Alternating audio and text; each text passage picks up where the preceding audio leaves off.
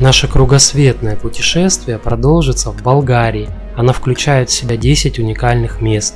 Сегодня мы перенесемся к фракийской гробнице в городе Казанлык.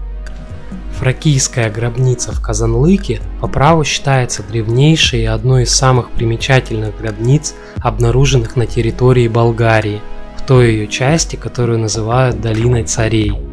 Гробница представляет собой сводчатое каменное погребение, являющееся частью большого некрополя, находящегося рядом с древним фракийским городом Севтополь. Определено, что гробницу построили на рубеже 4-3 веков до нашей эры для фракийского царя Райгоса, а обнаружили случайным образом 19 апреля 1944 года солдатами, копавшими оборонительные окопы в северо-восточной части Казанлыка. Ходе археологических раскопок было обнаружено небольшое количество предметов, украшения, а также скелеты людей и животных.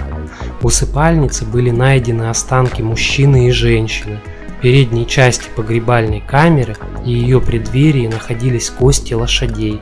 Кроме этого, в гробнице находились ритуальные сосуды и другие керамические изделия, украшенные орнаментом и позолотой.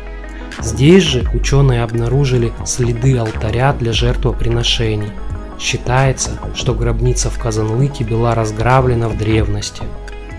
Надежно погребенная под землей фракийская гробница каким-то чудом сохранилась до сегодняшних дней – Поэтому вполне объяснимо, почему у посетителей этого уникального места захватывает дух уже от самой возможности увидеть красоту древних фресок и мощь каменных блоков, из которых выложены стены мавзолея.